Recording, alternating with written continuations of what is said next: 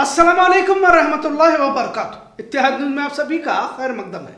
रमज़ान का मुबारक महीना कल से शुरू हो रहा है, यानी कल पहली तरावी हो सकती है और मंगल के रोज पहला रोजा होगा। पिछले कई सालों से हमने बेलगाम शहरों या फिर दिगर इलाकों में एक तरह का रमज़ान देखने को मिलता है। यकीनन नमाजियों की तादाद बढ़ चुकी है, रोज़े भी होते रहते हैं। फिर सहरी और इफ्तारी तो पूरे रमज़ान में तवज्जो का मरकज कह सकते हैं। कईयों को रमज़ान के ताल्लुक से बात करते हुए देखते हैं तो कहीं पर भी किसी दीनी मजलिस या पूरे रमज़ान में इल्मी तरबियती मजलिसों के महफिलों का एहतमाम करने की बातें नहीं सुनी जाती। हो सकता है एक आध दो जगह पर हो सकता है। अगर आपको तस्करे मिलते हैं तो इस बार पिछले रमज़ान से ज़्यादा कारोबार किस तरह होगा, कहाँ दुकान लगाने से, छह महीने का मुनाफा किस तरह हासिल हो सकता है, बाज़ार में लाइटिंग कहाँ से शुरू होगी, कहाँ इश्तेहार के बैनर्स बोर्ड बैठेंगे, किसका इलाका कहाँ से शुरू होगा वगैरह। और यही रमज़ान का सरमाया अब बनते जा रहा है। और देखा जाए तो रमज़ान की खुशियाँ इसकी मसरत भी पहले वाली नहीं रही। अगर महज रमज़ान की आमद का तस्वुर भी होता तो एक तरह की अजीब कैफियत हुआ करती थी। घरों में इसकी खुशियाँ शाबान से ही महसूस की जाती थी, पर अब धीरे धीरे सब कुछ बदलता जा रहा है। शहरी इफ्तारी में शायद ही कहीं तो दावत हुआ करती थी, अगर पहले की बात की जाए तो। और ये बहुत पहले की नहीं है, अगर 25-30 साल पहले का भी अगर आप माहौल देखेंगे तो इस तरह का होगा। और बेलगाम शहर में मक्का मस्जिद या फिर मदीना मस्जिद में ही कभी कभार ज़्यादातर दावतें हुआ करती थी। खासकर मक्का मस्जिद को अमीरों की मस्जिद कहा जाता था, और पहले अक्सर बेलगाम शहर के अमीर लोग इसी क्लब रोड पर हुआ करते थे, आज भी हैं।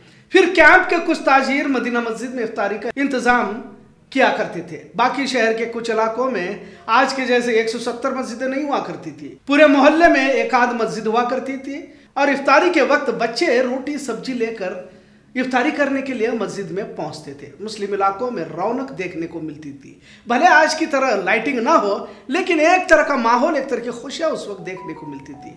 कुरान मजीद की मस्जिदों में तिलावत करते बुज़ुर्ग नौजवान कसरत से पाए जाते थे। आज की तरह अलिशान मस्जिदें तो नहीं थी, पर जहाँ तक हमने देखा है, बुज़ुर्गों का रौब मोहल्ले में हुआ करता था। रमज़ान के मुबारक महीने की बदलती तस्वीर हमने अपनी आँखों से देखी है। बच्चों की खुशी का कोई ठिकाना रमज़ान महीने में नहीं रहता था। सुबह सवेरे सहरी कर गली मोहल्ले में घूमते बच्चे खुशियों से खेलते बच्चे हम देखा करते थे। इबादतें कसरत से देखने को मिलती थी। घरों में खातन भी कुरान मजीद की कसरत से तिलावत किया करती थी और यह मंजर आम हुआ करता था। आज की तरह बेहयाई नहीं होती थी। मौजूदा रमज़ान में दोपहर में भी लोगों की भीड़ होटलों में नज़र आती है। आखिरी आशरा तो पूछो ही मत।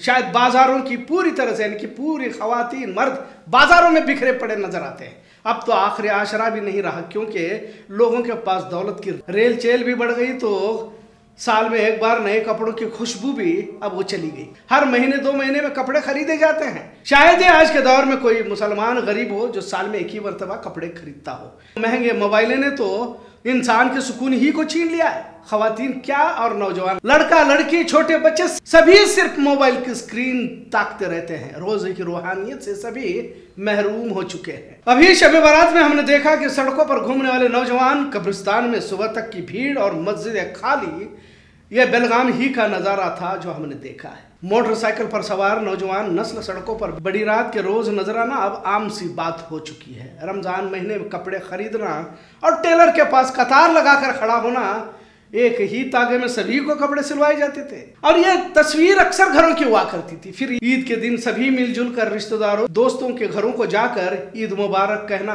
अब कहा वो मंजर? अब तो ईद मुबारक भी मोबाइल के ज़रिए से, व्हाट्सएप के ज़रिए से भेजा जा रहा है। यहाँ तक कि मौत होती है तो इन नलीला ही भी इसी मोबाइल के ज़रिए से बतौर स्टीकर भेजा जाता है। घरों में खुद ही पकाओ, खुद ही खाओ अब तो कुछ लोग ईद के दिन भी होटलों से खाना मंगवाते हैं। कहाँ तक बदल गया रमज़ान? लाइटिंग हर गली मोहल्ले में नज़र आती है। मुसलमानों की तादाद भी बढ़ गई है, पर रमज़ान की रौनक कहीं तो चली गई। मोहब्बत, अखवत, इबादतों का मज़ा रमज़ान में कुरान मजीद को कितनी बार पढ़ा इसके मुकाबले हुआ करते थे। अब तो तरावी भी महज रस्म बनकर रह गई है। ताजिरों ने तो इसमें भी शॉर्टकट मारकर दस दिन में ही कुरान को खत्म कर बाज़ार में अपनी मौजूदगी दर्ज कराते रहते हैं ताकि ज़्यादा से ज़्यादा फ़ायदा हासिल किया जा सके। कितनी सारी बातें पीछे छूटती नज़र आ रही हैं। आजकल अगर सही कहा जाए तो मस्जिदों में बहुत कम लोग इफ्तारी करते हैं, और शायद 11 महीने में जितना नहीं खाते, उतने जायके रमज़ान में मुसलमान खाता रहता है। यकीन अल्लाह की नियामतों का लुत्फ उठाना चाहिए, पर क्या सिर्फ़ रमज़ान में यही काम एक रह गया कि पूरी पूरी रात बाजारों में घूम फिर कर सुबह सहरी कर घर लौट जाओ और सो जाओ जोहर असर तक। इफ्तार पार्टी का दौर अब देखने को मिल रहा है। बड़े बड़े होटलों में शानदार और महँगी पार्टियाँ खासकर लोगों के लिए रखी जा रही है। शहर की तकरीबन मस्जिदों का रिनोवेशन होता हुआ भी देखने को मिल रहा है। सभी कुछ है, पर रूहानियत से महरूम होते मुसलमान भी अपनी आँखों से देखने को मिल रहे हैं। किस तरह रमज़ान बदलता गया? बदलते मुसलमान और मुसलमानों की बदलती जहनीत इनकी इबादतें, इनके रोज नमाज़ पहले के मुकाबले में सिर्फ़ रस्मी बनती जा रहे हैं। जदीद दौर में तहजीब, तमद्दन और जज्बे कहीं तो सर्द होते जा रहे हैं। चाँद को देखकर रमज़ान का महीना शुरू होता है और खत्म भी होता है। दरमियान में तो इसमें भी अख्तलाफा देखे गए। रोजा रखो, रोजा तोड़ो भी देखने को मिला। शहर के कुछ इलाकों में रोजा रखा गया तो कुछ इलाकों में रोज़े को तोड़ा गया। चाँद को लेकर घमासान भी इस मिल्लत में देखने को मिला, ये भी शर्मनाक वारदात कह सकते हैं। पहले मुसलमानों में जज्बा हुआ करता था। मुझे खुद आईबी अफसर ने कहा था कि मुसलमानों में अब पहले वाला जज्बा नहीं रहा, और ये सच भी है। मुसलमानों को दौलत ने बुजदिल बना दिया है। दीन इस्लाम की मोहब्बत, अखवत, भाईचारे को ख़त्म कर दिया। सिर्फ़ नुमाइश बाकी रह गई है। मुसलमान बजाय कौम की भीड़ बनकर रह गई। अब इनके पास कोई नजबुल नहीं है। सियासी समाजी दीनी रहबर भी महदूद दायरों में सिमट कर रह गए हैं। मोहल्ले बड़े, मुसलमानों की तादाद भी बढ़ी महँगी कारें, इमारतें रुपये पैसा, शानदार मस्जिदें अब तो बुज़ुर्गों के आस्थानों में भी चमकती दीवारें देखने को मिल रही है। सब कुछ है पर रूहानी कैफियत से महरूम होते जा रहे बड़े बड़े पोस्टर्स फ्लैक्स रमज़ान मुबारक के इश्तिहार डिजिटल स्क्रीन बाजारों में मुसलमानों की चहल पहल बेलगाम के बाज़ार में तो इस रमज़ान के दौरान गोवा, कोल्हापुर, हुबली, आजरा, चंडगढ़ मेरठ सांगली से लोग आते हैं। रमज़ान का बदलता चेहरा वक्त के साथ कैसे बदलता गया? कुछ हद तक अफसोस ज़रूर होता है, क्योंकि रमज़ान की तैयारी से मुराद हमने दुनियादारी ही समझ ली है। रोज़ा नमाज़ तरावी में फिर से खसू खजू की ज़रूरत है, और शायद इस दौरे फितन में बहुत कम लोगों को यह नसीब होता है। कुदरत अपने तयशुदा मरहलों को पार कर रही है। ज़रूरत हमें है कि हम उन मखसूस लोगों में अपना शुमार करें। रमज़ान के मुबारक महीने की अहमियत को समझते हुए इसके असल मकसद तक पहुँचने की कोशिश करें। अब तो ये भी सुनने में आता है कि कई जगह पर आखिरी आश्रय में तो एहतकाफ में बैठने वाले लोग भी नहीं मिलते। शहर के कुछ मस्जिदों में कुछ हद तक तादाद रहती है, लेकिन कई मस्जिदों में एहतकाफ के लिए कोई भी नहीं रहते, ऐसा सुनने में मिल रहा है। पहले ये मामला नहीं हुआ करता था। खैर, कल पहली तरावी होगी और मंगल को पहला रोजा हो सकता है, क्योंकि सऊदी में चाँद नज़र आने की इतला भी हासिल हो रही है। पूरा महीना कुरान करीम पढ़ने सुनने का मौका रहता है। कुछ पुरानी यादों को याद करना ज़रूरी समझा। क्योंकि नई नस्ल जो नौजवान है, पुराने दिनों से वाकिफ नहीं है। कभी मुसलमानों का बेलगाम शहर में दबदबा भी हुआ करता था। मुसलमानों की गलियों से फिरका पर गुजरने से डरते थे। लेकिन अब जिल्लत और रसवाई मुसलमानों का मुकद्दर बनती जा रही है और ये पूरे भारत में देखने को मिल रहा है।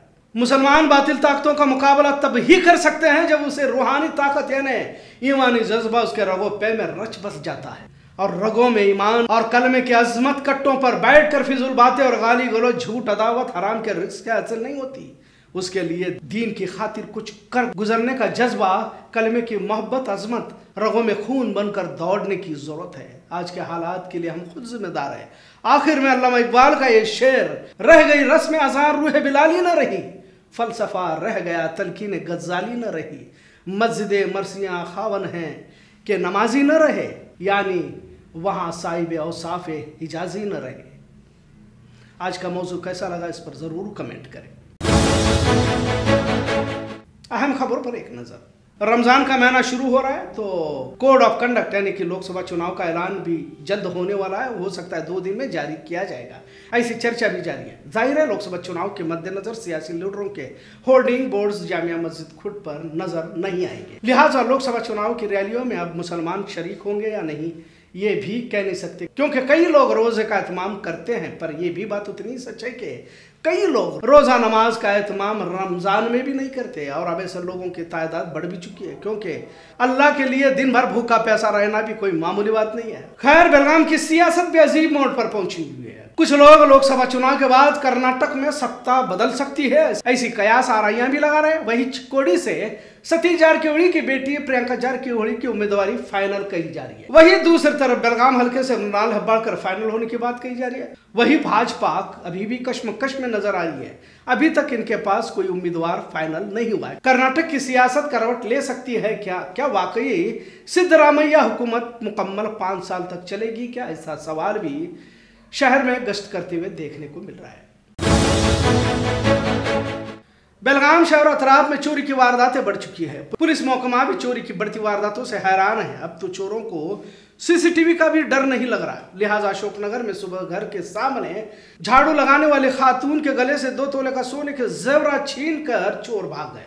सुबह छह, साढ़े छह बजे के दरमियान लक्ष्मी सिरसंगी झाड़ू लगा रही थी। उतने में दो अफराद मोटरसाइकिल पर बैठ कर आए और पता पूछने के बहाने गली में का जेवर छीन कर भाग गए। मामला मालमौरती थाने में दर्ज किया गया। कल शाहनगर में मनोहर अल्लूरकर के घर पर महज 15 मिनट में 25 लाख रुपए की चोरी की गई। दवाखाने को घर बंद करके सिर्फ़ 15 मिनट चले गए थे, लेकिन चोरों ने इसी दौरान खिड़की की कांच तोड़कर दरवाज़ा खोला और 25 लाख रुपए लूट कर चले गए। इस वारदात के बाद लोगों में खौफ का माहौल देखने को मिल रहा है। चोर वहीं करीब का हो सकता है, ऐसा कयास भी लगाया जा रहा है। मामला एपीएमसी थाने में दर्ज किया गया है। खबरों का सिलसिला यूँ ही चलता रहेगा। देखते रहे इतिहाद शुक्रिया। अल्लाह हाफिज़।